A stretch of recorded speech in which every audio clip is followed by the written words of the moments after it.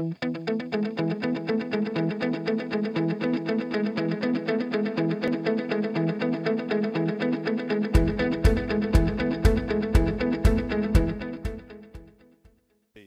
and gentlemen, please join me in welcoming back Dr. Peter Wurman. Thank you. Thank you. Okay, well, thanks for that great introduction. That's probably the best introduction I've ever had. Um, I'll try to live up to it. That's going to be a little hard, but I'll do my best. Uh, uh, and thanks for welcoming back to campus. Uh, it's been really a real nice um, kind of coming home, driving around the city where my kids grew up, and we spent a lot of time all over this area. And as I drive around, I just get all these memories of my kids' childhoods from a decade ago, and I, all these things I forgot about come back to life a little bit. Um, so, to get started, I wanted to tell you first a little bit about what Kiva is, and then I'll tell you a little bit about its development and um, some of the really interesting problems that came up as we uh, brought it to life. Uh, the idea is really simple, actually. Uh, we use these small orange robots. They're about the size of a small ottoman uh, that can drive underneath shelving units and lift them about an inch off the ground, and then carry those units, shelving units to the perimeter where people stand and do all of the picking in the warehouse. So traditionally, people would spend about two-thirds of their time walking around to get the products. Instead, the products are brought to them continuously all day long, and they can do about three times as much work. At the station, their job is very simple. A shelf shows up. There's a little laser pointer, which you'll see in a second. Um, that tells the person where to pick from. And then she'll grab one or two items from that spot, depending on what the screen tells her to do, and scan them and put them in a box. So it takes only a few minutes, like five, 20 minutes at the most, to train a person how to do this job. Um, and from then on, they get better and better, and within a couple days, they're actually up to speed and quite fast at it. And it's fairly simple and straightforward signals like the laser pointer. You can see this little blinking light that tells her which order to put the items in. There's a big quantity on the screen, so it's quite uh, easy to see how many units you have to move. Um, once the uh, picker's done with the, the pod, the robot takes it back and puts it away in storage somewhere, and right behind it is another robot bringing another item for another order. so as Ken said, um, Kiva started in 2003, 2004, we got our first funding. And over the next six or eight years, we were able to convince customers to try it out and uh, started selling systems. Our first customer was Staples over there on the um, right side of the screen. Uh, they were the first customer we would have convinced to take this big gamble and try this amazing but quite risky technology in their warehouse. Uh, after that, we were able to convince Walgreens to try it out. And then slowly, customers came on board and we deployed more and more systems. And you can see they're kind of concentrated along Route 60 through the middle of the country. You tend to find distribution centers in small towns that are within a drive of major metropolitan areas. Um, so they can do the picking in the evening and then get it to you the next day. Um, and so predominantly on the East Coast, but as time went on, we sold uh, some to companies on the West Coast. And then we even, up on the top right there, uh, had a few installations um, in Europe.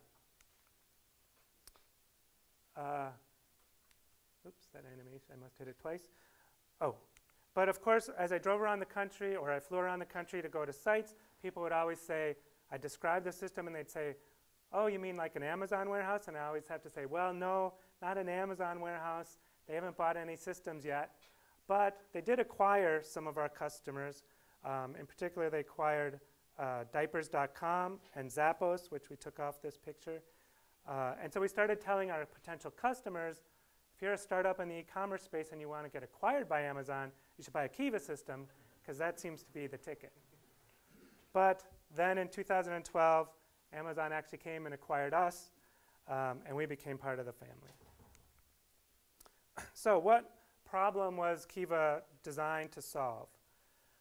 Well, warehouses traditionally served a pretty straightforward need. They took in pallets from suppliers, they stored them for a little while, and then they, for the most part, sent cases to retailers at the, out, at the far end. Um, so it was mostly a, a task of breaking down pallets and moving the cases around to new pallets and sending them out. But as e-commerce blossomed, that task became harder.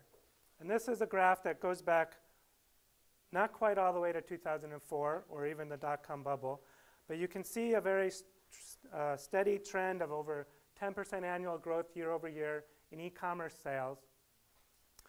There's another interesting aspect of this graph which I like to point out. You see how the red line is kind of wavy? That's what's called the peak to mean problem. So if you look at any particular year, the spike at Christmas in e-commerce sales tends to be on the order of sometimes 2x uh, the baseline for the year. But because of this constant upward trend, you see that within two years, that what was a peak now becomes the baseline, and you keep ratcheting it up.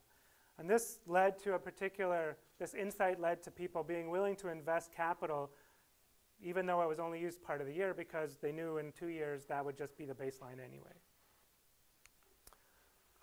So with e-commerce, this warehouse problem became a little bit more difficult because now instead of um, uh, shipping full cases to retail outlets, you now had to deal with orders that were going to offices and homes as well, and they were only ordering one or two items at a time. So you had to open up the cases, pick items out, and put them in new boxes. And that was much harder. And traditional warehousing approaches were very labor intensive. Uh, this is a picture from an Amazon warehouse in the 07, I think, time frame. Um, and you can see just acres of pallets stored on the ground. Each one has a sticker in front of it with an, an identification, a location uh, marker taped to the ground. And there's hard to see, but there's a couple people walking around this space with carts that are going to specific spots to pick out an item for an individual order. So isn't it pretty common in this environment to, to walk on your eight hour shift 10 to 12 miles every day? Um, well, when you think about it, what is this distribution center trying to do? It's not meant to be a form of exercise. Uh, and in fact, it's for the most part, people think of it as a cost center. It's just a place that costs money that doesn't add a lot of value. But what value it does add is in this sortation step. It's not the storing and the moving inside of the building that matters. It's the ability to, to open the cases and mix and match the outputs. Um, and while you're trying to do this, there's always business pressure to increase the speed and accuracy of the task you're doing, do it faster with fewer people, uh, and generally become, you know, generally cost less than you used to cost. So this idea came about because a friend of mine from, from my MIT undergraduate days worked at a company called Webvan in Silicon Valley during the dot-com bubble. And Webvan actually became the poster child for the bubble because they raised almost a billion dollars between their investments and the IPO that they had in a two-year period to try to solve the grocery home delivery problem. What they did was buy the greatest technologies they could and apply the state-of-the-art warehousing equipment uh, to solve this problem. So on paper, uh, they seemed to have a pretty good business plan. They thought people would buy $100 worth of uh, groceries, and it would cost them $70, it would cost Webvan $70 to get those groceries into the building. Then, so they had $30 that, to work with. They thought they'd be able to fill the order for Mrs. Smith for $10, then to deliver it to her house for $10 which would mean they would make $10 on every order. But as they found out in that first year, some things were going quite well. They were actually, uh, the order size was $120, so they had a little bit more money to work with to solve the problem. But they were spending 30 bucks in the warehouse and another 20 on the delivery because they couldn't get the customer density and couldn't get the scheduling down right. And the algorithms to do that kind of, solve that kind of um, traveling salesman problem are quite hard to do. Uh, and then because they weren't doing either of those very well, they were actually losing another $10 to, to customer support for every order because Mrs. Smith would call up and say, you sent me the wrong brand of peas or you sent me ice cream and it's melted because it took so long to get here. So they had all of these ancillary issues. So they were losing $20 per order. My friend came in in that second year um, and tried to help solve the problem inside the warehouse. And what he found was a lot of the, what was the state of the art in automation being applied to the warehouse, and it was very ineffective for solving the problem. This is a thing called a carousel, which you don't really see sold anymore. Uh, this, you see this one person working these three devices. They're like the giant linear carousels that you see in a um, laundromat that can carry all the clothing around. But these carry these shelves on which are stocked products. And when an order, the little toad in front of her comes to the station, or there's a couple here, uh, these carousels spin until the right product's present. She walks over, takes the product out, puts it in one of the totes. And this allowed her to pick at about 200 lines an hour, which was uh, 250 times, 200, uh, two and a half times the rate that she was picking manually. Uh, but you can still see, even in this little video, she's waiting for the machines quite a bit. And that's a lot of capital to spend to have one person, make one person more efficient. In addition, they were really loud. So I have the volume turned off on this video. And, um, and they were prone to failure. And if you mismanaged the warehouse and you stocked some important item like a newsletter in one of these, and every tote in the building had to come over here, the whole building melted down. Literally, because the ice cream started melting and things like that. So my friend Mick Mountz, who was the founder of Kiva, said there's got to be a better way. Webvan had gone out of business, but they had done a lot of brainstorming, and he got the idea that maybe if we could find a technology that brought the, peop- the products to the people, we could do run a warehouse much more efficiently. And so we made this video a couple years into Kiva to kind of focus on the idea that we're solving this business problem. We want your staff to be able to reach out, grab a product, put it in a tote and ignore the fact that it's a robotic system that's, that's solving this problem for you. We are solving a real business problem. So um, he came to me in 2003 timeframe. This is actually a picture from Raleigh in 2003. Uh, this is my attic in my house in North Raleigh. And he said, I have this idea. Uh, I don't know if it can be done, but do you know anything that would help us solve this kind of problem? And I said, well, I don't know much about robotics, but if you had robots and you were trying to do resource allocation in a big system like this, I know something about that. So uh, I started working with them on the idea. As you, as you saw in the video, the innovation is uh, pretty straightforward. Um, and it consists of only these four core objects. There's the shelves, we call pods. There's the robots, which we call drive units, again, to kind of distract from the idea that we were using robotics. Um, there's stations where the operators stand that has some infrastructure in place. And then in the back closet, there's a control system on a server rack that uh, actually does a lot of the control of the system. Um, so he convinced me to help him get started. And this is a picture from early 2004 with our first demo system. You can see um, these first few robots that were sitting on them, and there's some first inventory pods in the back uh, right picture of corner of the picture. They don't look much like the final robots. They're just little aluminum shells. They have almost no sensors. Uh, we had to plug them into those chargers against the on the left side there, just car battery chargers overnight. Um, the pods actually had casters, so the robots couldn't lift them off the ground, but instead they had to dock with them and push them. And we use this system to convince people that we could see a path to delivering the hardware uh, that could deliver this solution concept. Um, these are the first six employees. Uh, Mick is the one in the back right. I'm there in the middle. And another key employee was Raf D'Andrea, who was, he's on the front right. He was a professor at Cornell at the time and was on sabbatical, or about to start a sabbatical at MIT. Um, when we met him, and convinced him to help us uh, start Kiva. And um, he was a professor in control systems and was well known because he had won RoboCup, uh, small soccer league, four of the previous five years. Uh, so he was the, exactly the kind of creative, uh, practical engineer that we needed to get this thing started.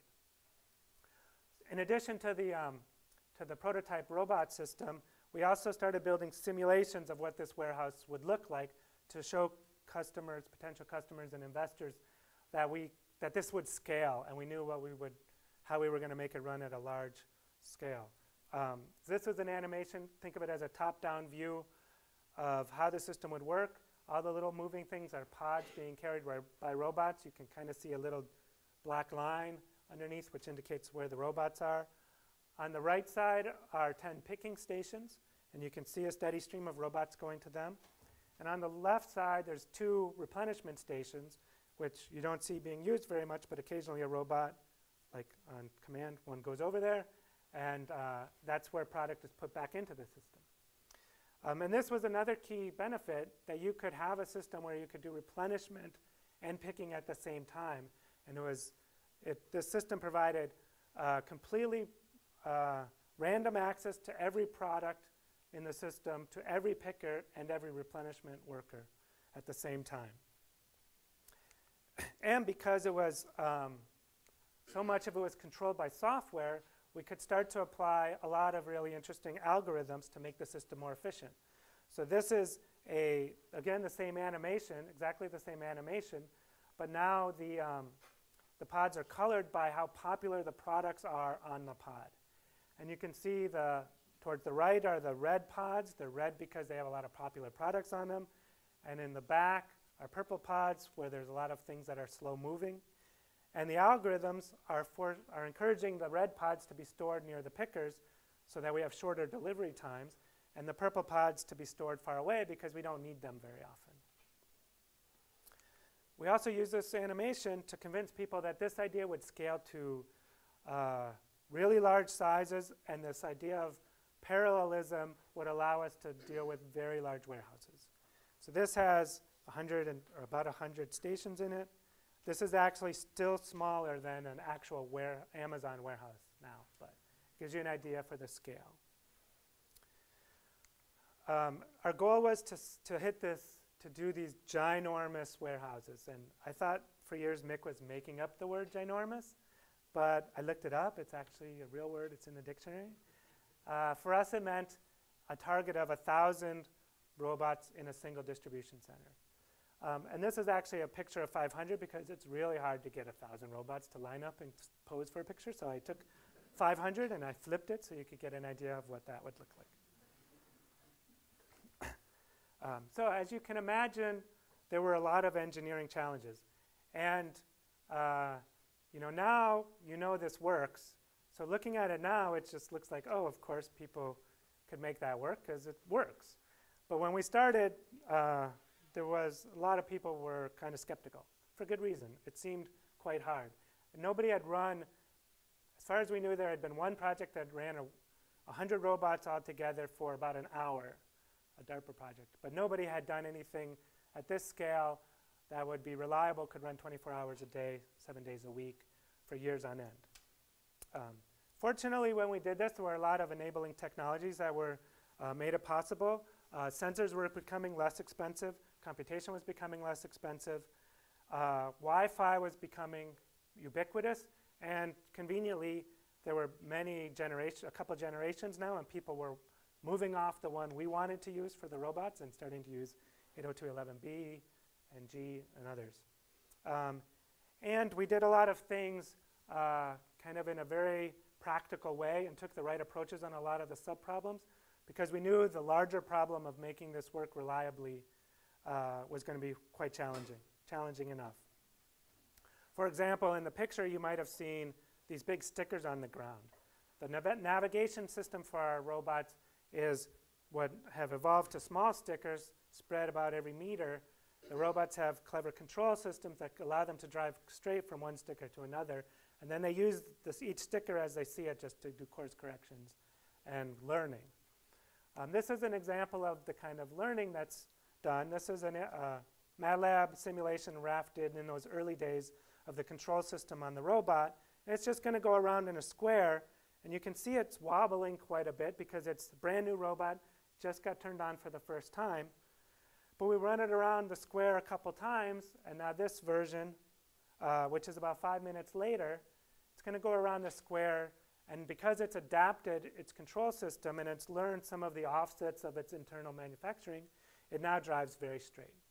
And so every robot um, uses this kind of adaptation, which makes them robust over time. It also makes them learn over time, so as their wheels wear and stuff, the system, the robot, each individual robot's constantly adapting to that. Um, and it's one of the things that made the system very reliable. On my side of things, I tended to look at uh, this from a high level at what are all of the resource allocation problems. And uh, it breaks down into basically seven different things. Um, the top left there, you see a circle that says uh, it's a pile of orders that the warehouse has to fill. And the first task is deciding which order should go to which station. And that decision affects how far the inventory is going to have to drive, so that's very important to optimize.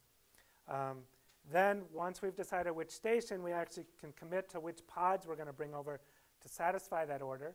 And that will take into account distance, but it also take into account synergies between this order and other orders the station is working on. So we can get what we call pile on, which is two or more picks from the same pod. It's a completely separate, or can be a completely separate decision on which robots will carry which pod to each station. By decoupling that, you get control over doing more just-in-time delivery to each station. Um, and we found significant savings by treating that optimization problem well. When you're done, uh, you can go put that pod back anywhere you want.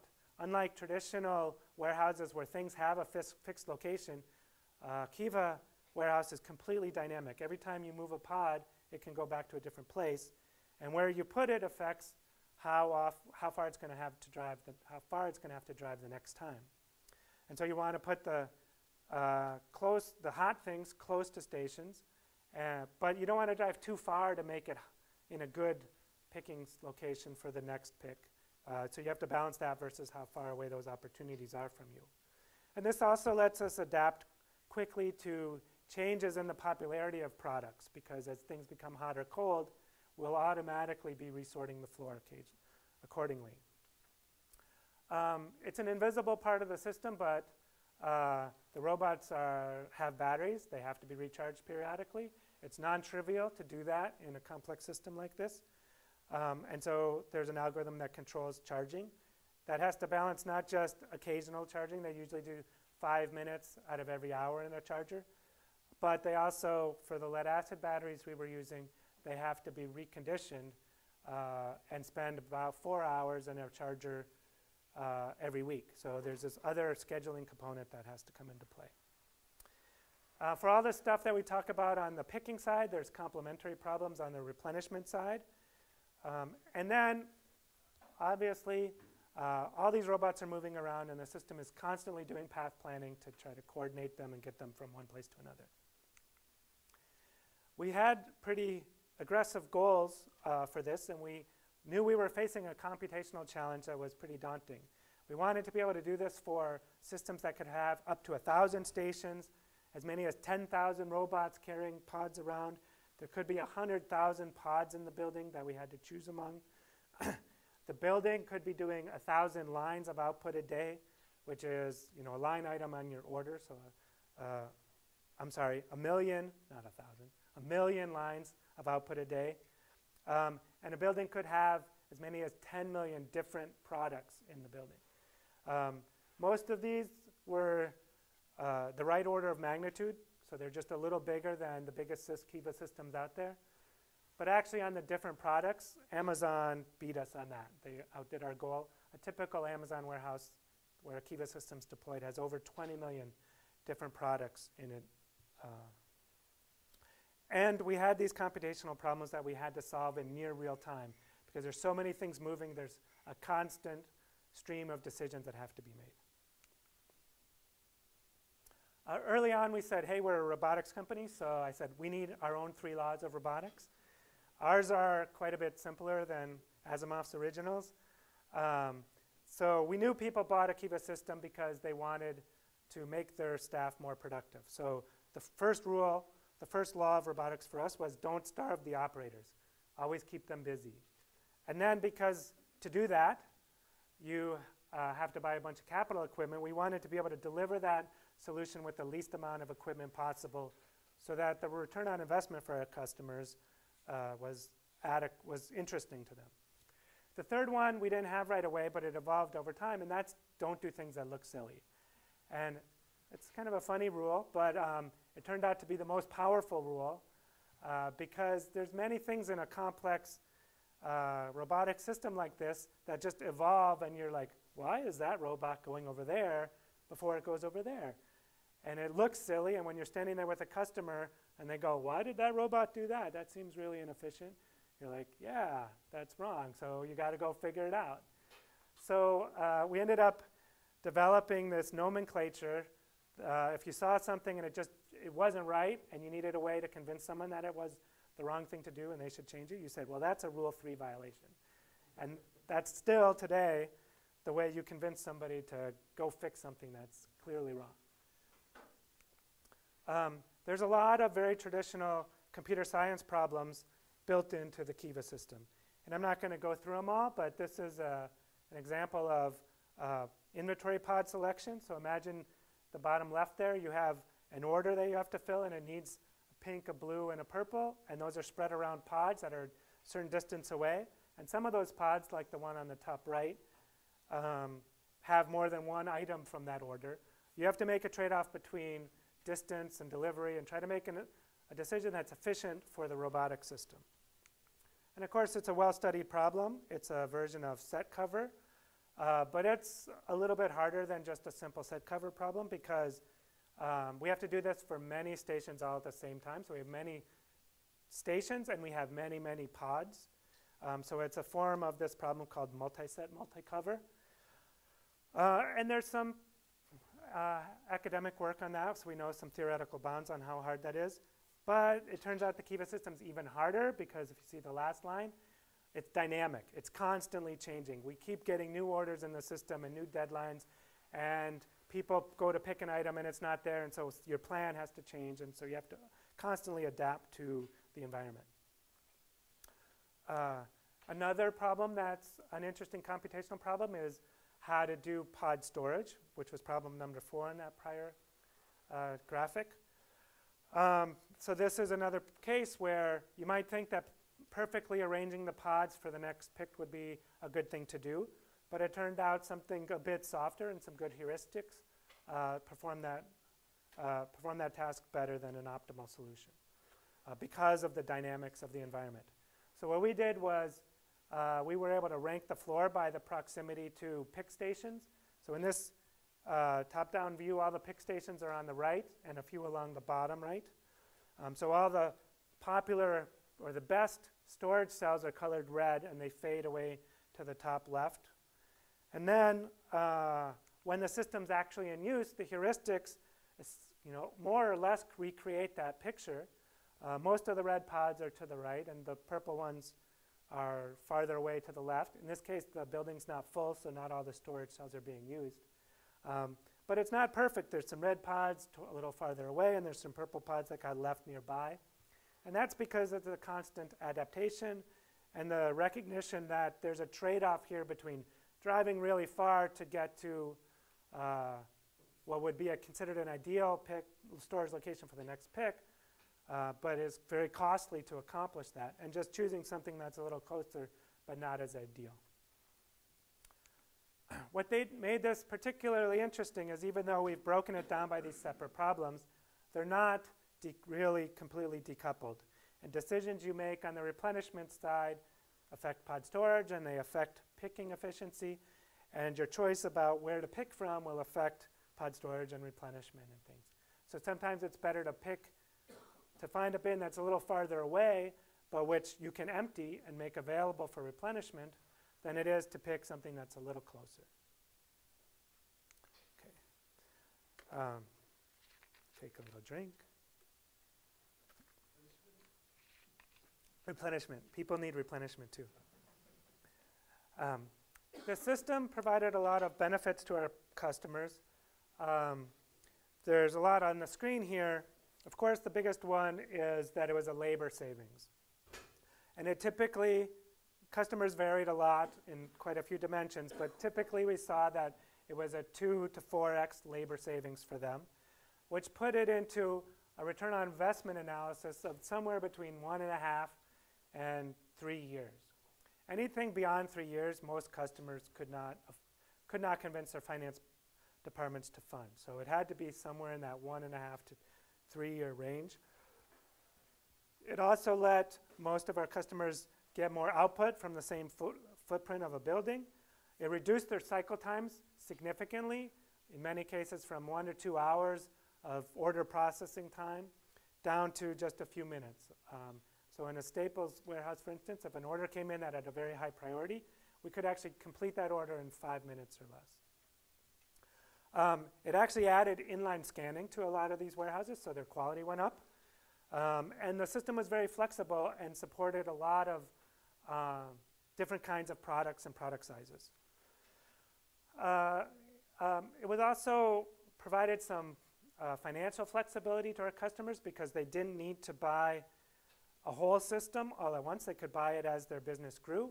And they didn't need to plan for buildings two years ahead of time. They could, because we could deploy systems in four to nine months, they could postpone decisions and um, uh, and then make a decision, you know, in the, they could make a decision in the early part of the year and still get a building online by the peak.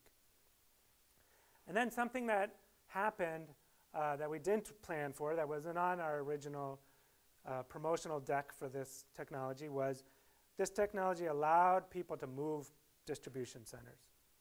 Um, and that happened to us five or six times over the course of Kiva's history before the acquisition. This is an example of one in uh, the Reno, Nevada area where diapers.com had a small facility that's to the left of the picture, and they wanted to move out to this much larger building that was in this new industrial park uh, just outside of Reno. Now, I don't know why the people of Reno decided to, with all that empty space between that industrial park and the city, that's where they chose to put it, but I've, I've driven that path. There's only a couple of trailers and a lot of wild horses. Uh, but that's where the, the new warehouse was. So they said, hey, we really like to move uh, to this much bigger building we're going to buy. We'd like you to, um, to move all the equipment for us. And, but you know we have three diapers distribution centers. They're all running Kiva. Uh, we're a fast e growing e-commerce business. We can't afford to have the building down. So could you do this over the weekend? Uh, and you know, most just, uh, material handling companies would have said, no way, that's, you know, that's inconceivable. But we said, sure, but we want to film it. Uh, so we set up two time-lapse cameras, one in each building. And Thursday afternoon at the end of the shift, we started using the robots to drive the pods over to the loading dock. We wrapped them in giant saran wrap, put them on trucks. We had prepared the other facilities, so it had stickers on the ground and it had a server set up but everything else needed to be moved from one to the other. So by Friday afternoon, you can see a lot of this equipment's moving and it's starting to show up in the, the new facility. Um, you can see a lot of the pods are being forked off and put into place. We use the robots to do it because they needed to be placed very precisely. Uh, the robots do it much better than people. You can see, uh, missed my little timing cue, but you can see a lot of the pods have been set up now. This is Friday at midnight, so we're still just over 24 hours into it. A lot of the robots have shown up. Uh, the stations had to be dis disassembled and moved over. Um, by Saturday morning, uh, you can see uh, the robots are starting to move around. We're doing some test picking. And by Saturday afternoon, 6 p.m., the move is complete. Um, the staff had now drove to this new distribution center past all the wild horses to a giant parking lot, a much bigger building, but they went in and they walked up to the exact same station they've been working at two days earlier. I mean, that kind of thing was just like, was not possible before. Uh, and it's not something we predicted, but several customers found it useful as their, as their businesses grew. Um, since 2006, the entire fleet of Kiva robots has driven about 170 million kilometers. And just to give you a sense for that, uh, this is actually a, over a year and a half old. So at the time that I made this picture, we had passed the sun and we're on our way back. But if you add in the 45,000 robots that Amazon ran this, uh, this past peak, uh, I'm pretty sure we've passed the Earth and we're on our way back to the sun again. And in that original time frame, we had delivered 1.7 billion pods to picking stations with our fleet of robots. Over that same period of time, Kiva had grown to about uh, 350 people or so up until the point of the acquisition. And from that original six, see the picture on the bottom right, left there. Uh, the other picture is one day Mick said, hey, we want a picture of the company to show the, um, uh, the investors or the board of directors. And uh, instead of the normal just team photo, we're going to line up all the departments in a human bar graph.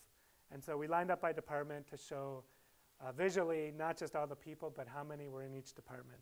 And that's how our 350 people stacked up.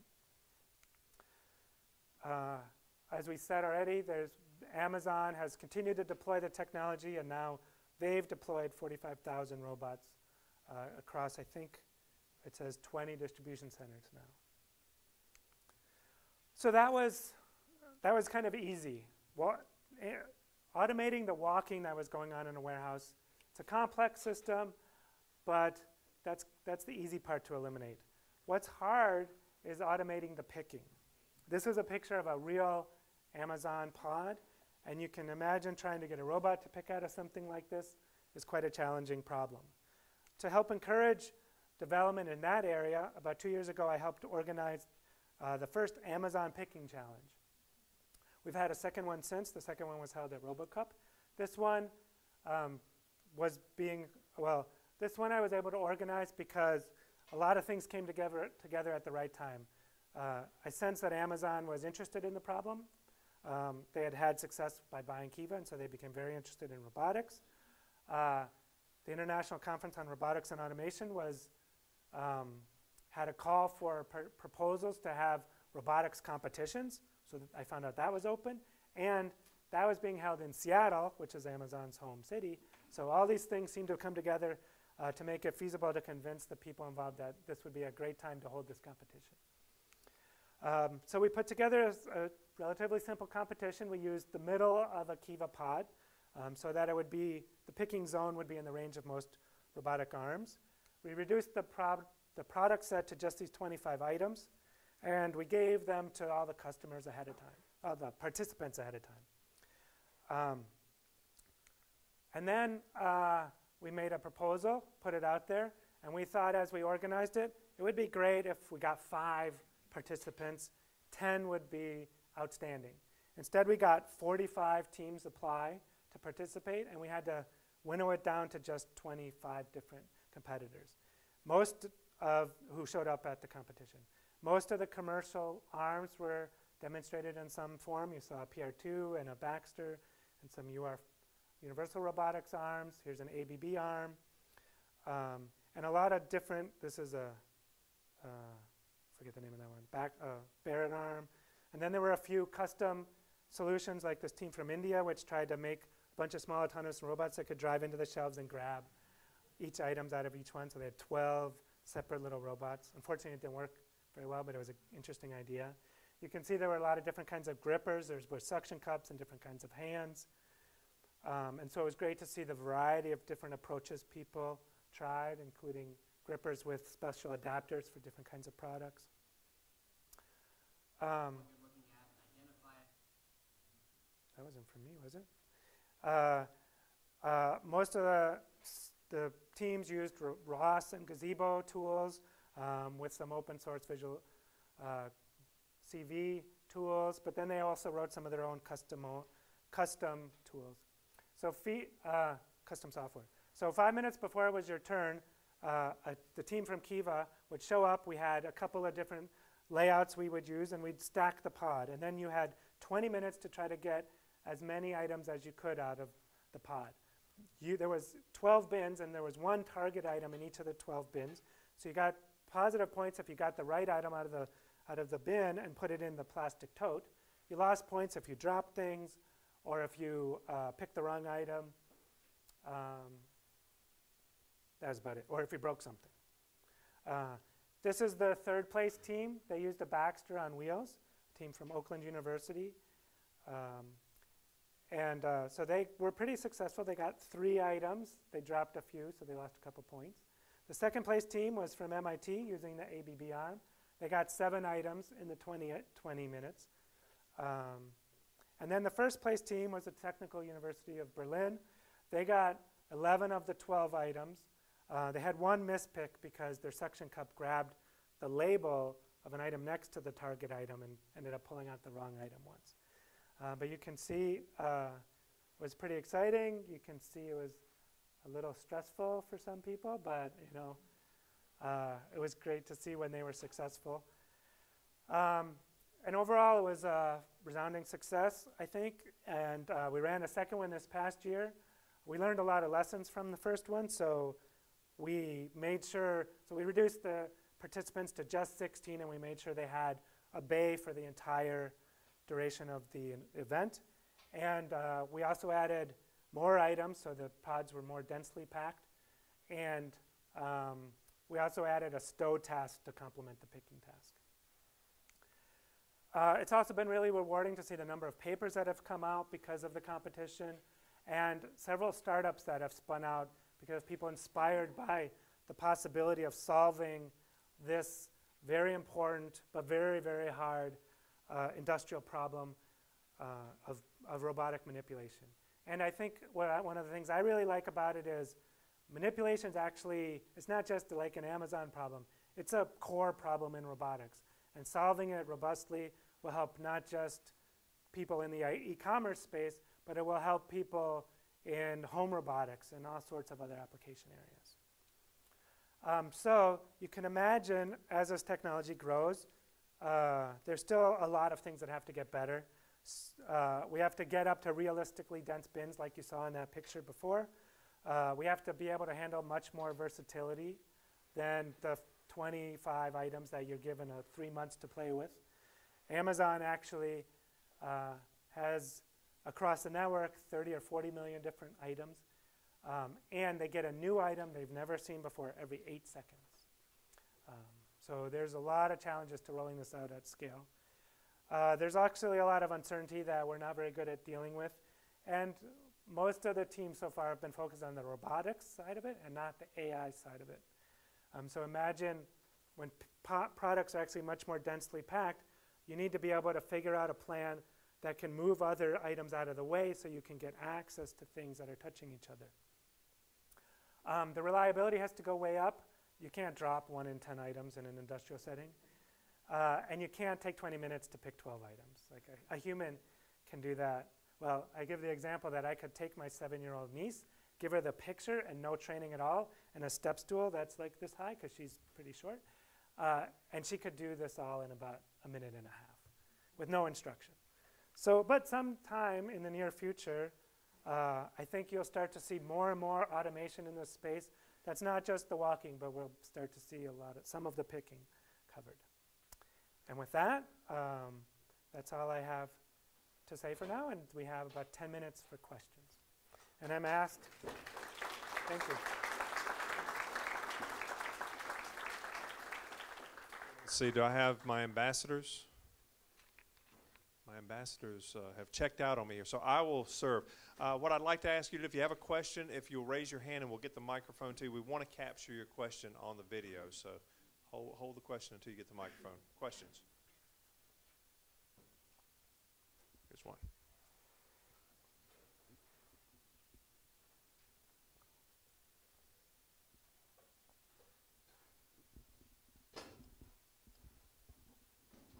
Hello. Hi, I'm a master student here. Um, the initial description of your Kiva robots handling the movement was was awesome. So one thing that came to my mind was uh, how does the factor of traffic coming to the whole um, picture? Uh, there's so many robots moving around, and individual robots use sensors to stop for passing by robots, and how does that affect the whole system? Sure. Um, so this is one of those places where we uh, didn't try to solve the problem completely, but we tried really good heuristics and then tried to make it better over time. Uh, so this, the basic coordination mechanism is pretty straightforward. Um, we do use a multi-agent system architecture, uh, or we did for at least 10 plus years. Um, so there's different agents in the system that serve different roles. So it obviously makes sense that there's a different agent for each robot. Uh, but there were also another few agents that did some of the allocation and coordination steps, and one did a kind of uh, space coordination. Robots would ask for reservations for space, and this central entity coordinated those reservations so that they wouldn't conflict with each other. Um, they had sensors to deal with uncertainties and failures of, in that system, but most of the coordination was um, centralized in that way. Now, another interesting thing about it is, as you noted, um, a lot of research in multi-agent robot coordination is you take a torus or some, some simple space and you create these random starting and ending locations and robots have to drive around. And so it's like this open space and um, all source and destination uh, locations are equally likely. But here, all the robots kind of start in the middle and they all go to the periphery and then they go back. So there's this funneling to destinations and then uh, funneling out away from those destinations again. And they're intentionally trying to get in line behind each other at these pick stations. Um, so, our, uh, so there wasn't really any academic research that addressed the coordination problem either at the scale we have or with the kind of conditions that are true of our system. So we found uh, good heuristics went a long way towards that. And then later, as the company grew and I was able to build up a research program, we would tackle that uh, more efficient mechanisms as a research project and find ways to make it even better. But we found surprisingly that those good uh, heuristics lasted a long time and got us quite far. Uh, All right, here's a question. I want to get this to you know, I feel a little bit like a pod, so I think there's an algorithm that would tell me where the optimal place to be is. Who, who, who raised their hand here? You're a little right. slower, though. I know. Um, so when you uh, when the team was developing the system initially, uh, did you find that making the robot was a harder task, or developing the software to actually control it was harder? Um, they were both hard uh, in their own ways. Um, uh, Raff was phenomenal at building a control system that made the robots reliably drive from one location to another. And that was necessary for me to work with the software team to be able to um, to you know, design systems on top of that that relied on the lower parts being reliable. Um, so many people were involved in both parts, uh, the hardware and software. But to give you a sense of scale, we had about four times more software engineers than all the people who worked on the hardware. Um, and it was, you know, it wasn't all complex algorithmic software problems. There were, there was an API to talk to customers uh, warehouse management systems. There were a lot of user interfaces that had to be built, uh, a lot of database stuff going on. So, but spread across all of that, there were many more software people involved. Another question. Yep.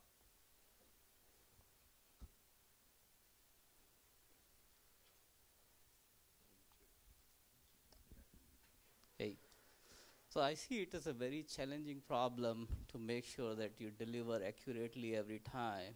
And if there is a mistake, how did you go about finding out where something went wrong? And what is the average accuracy level that your customer expected from you?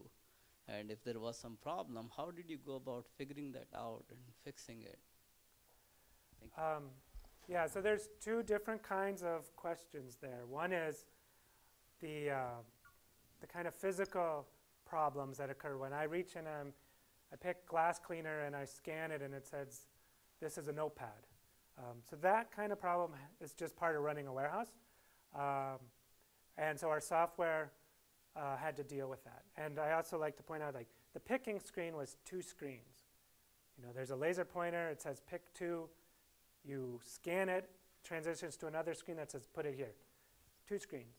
But the exception handling on that Workflow was another eight screen. So there's another 4x rule, which is exception handling is four times as much work as the Happy Path software coding. Um, so built into the workflows were um, mechanisms to catch those kind of errors. And if there were multiple, like a pick like that, where the wrong product seemed to, to be in the bin, or you know, that could just be a human error, or it could have been the wrong thing was replenished here, could could trigger a workflow for the building where someone has to go count those locations. Um, there's a different set of problems, which are bugs in our system, uh, which we have to go figure out. And so sometimes, you know, the surface level analysis would say, you know, everything, uh, you know, the wrong pod actually showed up in front of the picker. So it wasn't the picker's fault, it wasn't the replenishment worker's fault, but we gave the wrong instruction at the wrong time. And so those were like normal system, like normal debugging things. They were go look at the data, try to figure out what happened, try to recreate it. Um, and a lot of those were easy, uh, but some of them were really, really hard. This is a very complex system. So we had a bug once where um, uh, we had orders that weren't getting filled. So they would just sit at a station for a long time, and we didn't know why.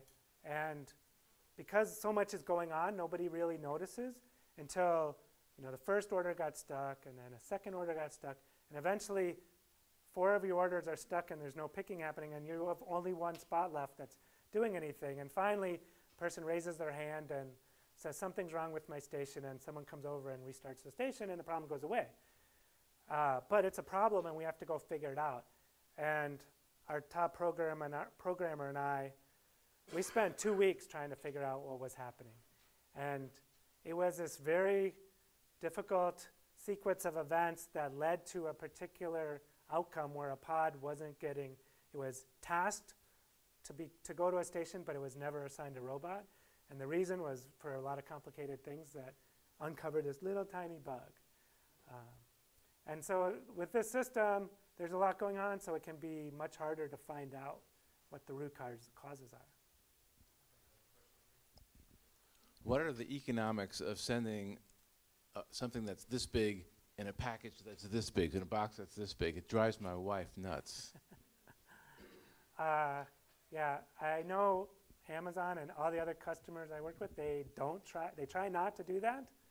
Um, but some some things are so infrequent and cost so little extra money that they, they're on the list, but they never get above the bar. Um, I've recently ordered things that Amazon labels as add-on only. like this is a dollar, so we'll only send it to you when you've ordered $20 worth of stuff. So I'm, I'm fine, okay, I can wait. And then I order something for $20 and all that stuff comes in one box and the add-on thing comes in a separate box. Why did you wait? Um, and I worked there so for four years, so I know what's going on. I still don't know why that's happening. I think we have time for one more question. John? What happens if somebody runs, runs out in the middle of the robots? Um, they have sensors, uh, and they will stop. Uh, the pictures I showed you didn't show the full safety systems that evolved over time. Nowadays, there's a fence around the whole thing, and it's all safety rated, and there's kind of a lockout, tagout mechanism to make sure people can't go on the floor. Um, it's a challenging environment because uh, you could put the best sensors you can afford, I mean, the best sensors available on the robots, but because they're constantly passing each other and they're carrying obstructions, pods full of things, if someone's walking behind a robot that you're passing, and then decides just as you get there to step out in front, there's just no way you're going to be able to see them and stop in time. So the best solution is to have technologies that stop the robots whenever a person is going onto a section of floor. And that's, we had software tools for that, and over time, they've developed hardware tools to facilitate that. Um, yeah. All right. Thank you so much, Pete. Thank you.